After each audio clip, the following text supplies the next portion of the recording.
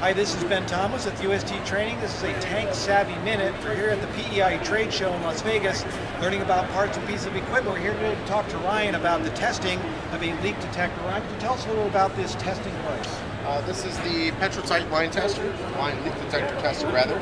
Uh, it's a fully self-contained unit, runs a hydrostatic line test. Uh, using a simple pressure regulator, we are able to connect in line with an impact valve to produce a three gallon per hour leak.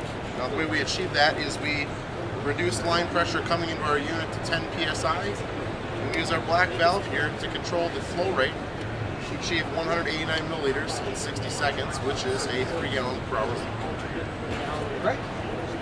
Ryan, thank you very much. Thank you, Ben. This is Ben Thomas and Ryan reporting from UST Training. This has been a Tank Savvy Minute.